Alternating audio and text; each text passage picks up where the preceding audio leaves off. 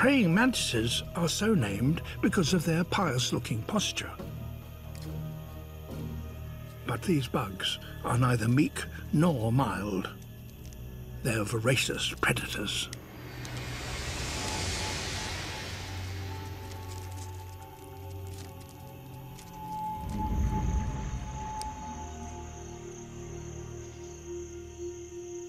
This male mantis, climbing up towards his potential mate, can have little idea of the danger that he's in.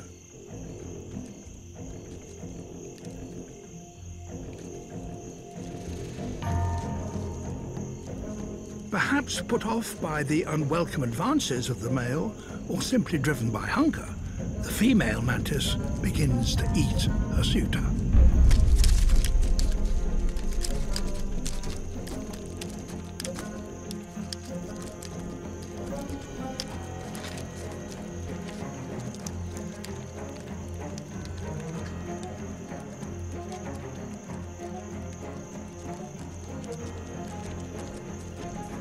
Holding his upper body in her left claw, she starts to chew through his thorax.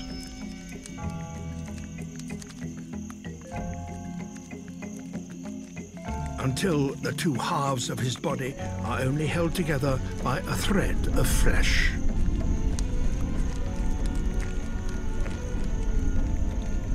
Eventually, his head drops away.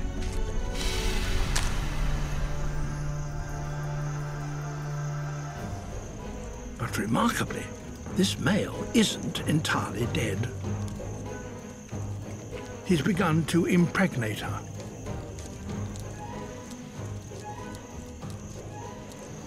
The female has removed his head, and with it the brain cells that control his inhibitions. But his abdomen has its own nerve cells. Cells that control the act of copulation and they allow him to pass on his genes even in the throes of death. In reproductive terms, this male has succeeded. But his death is a symbol of how strangely unfeeling the arthropod world can be.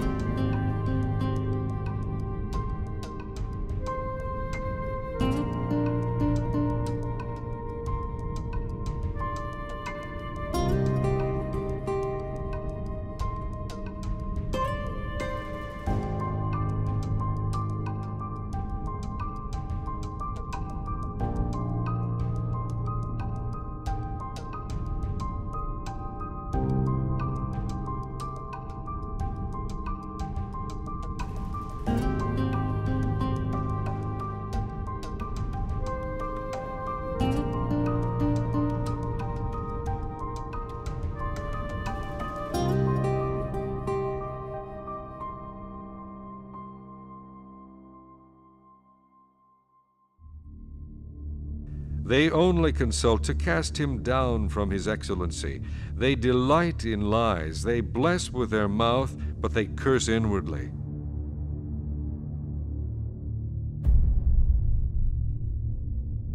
The light of the righteous rejoices, but the lamp of the wicked will be put out.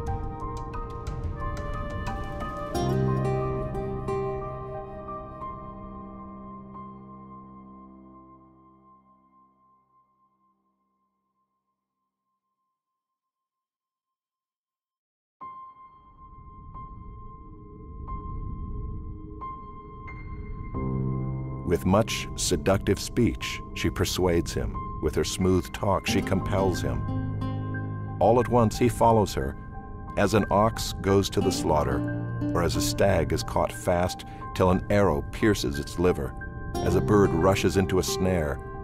He does not know that it will cost him his life. And now, O sons, listen to me and be attentive to the words of my mouth. Let not your heart turn aside to her ways.